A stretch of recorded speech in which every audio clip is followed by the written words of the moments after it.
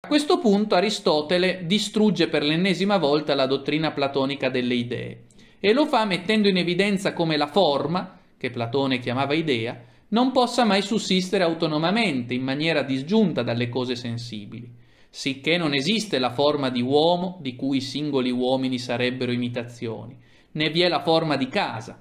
Al contrario, la forma esiste nelle cose stesse, che appunto sono sempre sinolo, cioè unione, di materia e forma.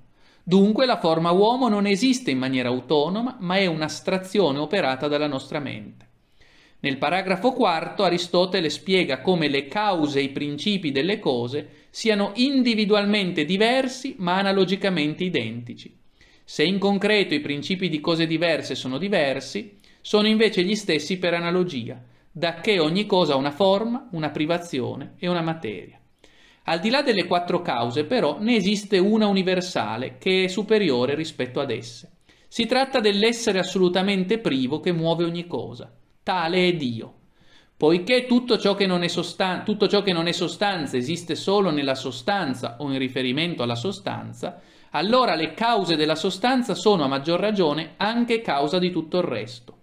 In particolare, l'atto e la potenza costituiscono il principio della realtà tutta.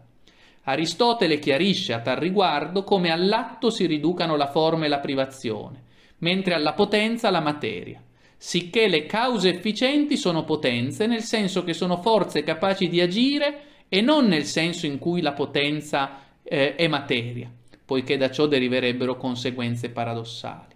Seguendo questo percorso, Aristotele si è sgombrato il campo e può ora finalmente introdurre la dimostrazione di una eh, sostanza esistente, soprasensibile, immobile ed eterna, una sostanza che muove l'universo senza a sua volta essere mossa. Dopo aver spiegato come le sostanze abbiano priorità su tutti gli altri modi di essere, Aristotele rileva che se esse fossero corruttibili, allora non esisterebbe nulla di incorruttibile ma questa tesi è smentita dall'esistenza del tempo e del movimento, che sono entrambi incorruttibili per loro natura. Ma per poter effettivamente argomentare in favore dell'esistenza del movimento incorruttibile, eterno e continuo, occorre dimostrare l'esistenza di un principio motore. Un principio motore che, per poter produrre un moto eterno, deve essere esso stesso eterno, e per poter produrre un moto continuo deve essere sempre in atto. Ne segue dunque che il primo motore sarà atto puro ed eterno, privo di materia e di patenza, nonostante questa tesi possa in apparenza essere decostruita dal fatto che, come abbiamo visto, la potenza viene prima dell'atto. Però è Aristotele stesso che ha precedentemente spiegato come se è vero che le cose per passare all'atto devono prima essere in potenza, eh, è anche vero che ogni cosa per passare dalla potenza all'atto necessita dell'intervento di qualcosa già in atto, sicché l'atto sta prima della potenza. In tale prospettiva Aristotele può duramente criticare i eh, fisiologi, i naturalisti e i teologi per aver fatto derivare tutto dalla notte e dal caos, cioè dalla potenza. Essi non si sono accorti che non si sarebbero potuti muovere senza l'azione di una causa già in atto.